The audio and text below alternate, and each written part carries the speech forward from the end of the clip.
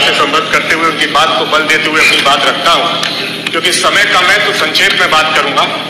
CHO जो CHO हैं वो हमारे स्वास्थ्य विभाग की रीढ़ की हड्डी है। हर ग्रामीण क्षेत्रों में सबसे ज़्यादा वही काम करते हैं। गाँव गाँव में जहाँ पे पीएचसी और सीएचसी है उन पे सीएचओ की, की तैनाती है। भारत सरकार का नियम है कि उनको पच्चीस हज़ार रुपए की सैलरी और पंद्रह हज़ार रुपए एक्स्ट्रा इंसेंटिव में दिए जाएगा।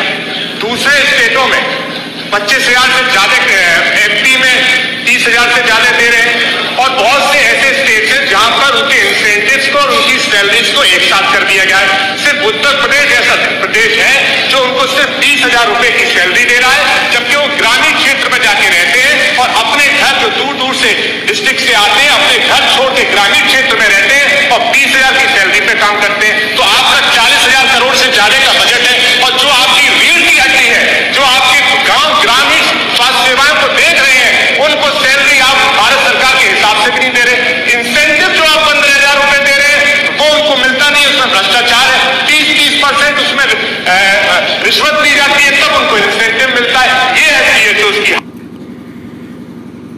तो दोस्तों माननीय महोदय साहब ने कम्युनिटी हेल्थ ऑफिसर को लेकर शानदार बातें कही हैं। उन्होंने कम्युनिटी हेल्थ ऑफिसर को ग्रामीण लेवल पे रीढ़ की हड्डी बताया है और साथ साथ में जो इंसेंटिव मिलता है, उसमें करप्शन को लेकर भी उन्होंने साफ़ साफ़ स्पष्ट कर दिया है। तो बताने वाले दोस्तों, बात ये है आप लोगों को कि आप लोग भी बोल सकते हैं, जो भी जिस स्टेट से आप लोग बिलोंग करते हैं, इन्होंने एमपी का बताया है और यूपी का बताया है। यूपी में सैलरी उन्होंने बीस हज़ार बताई है और बाकी इंसेंटिव है। तो मैं तो आप लोगों को बोलना चाहूँगा कि आप लोग मेल कर सकते हैं, डिपार्टमेंट में जा सकते हैं, पूछ सकते हैं, आप अपना राइट है। कि जो अपनी सैलरी और जो इंसेंटिव है, दोनों को आपस में मर्ज करके उनका सैलरी बना दो। टोटल चालीस हज़ार रुपये दे दो महीने का।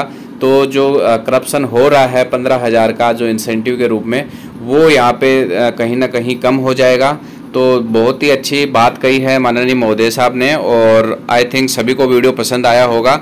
तो लाइक ज़रूर कीजिएगा, ज़्यादा से ज़्यादा दोस्तों को शेयर कीजिएगा। आप लोगों से मैं यही कहना चाहूँगा कि जितना हो सके वीडियो को शेयर कीजिएगा सारे दोस्तों तक, ताकि सब तक ये बात पहुँच सकें और कहीं ना कहीं आप लोगों के लिए बेनिफिट में कोई फैसला आ सके।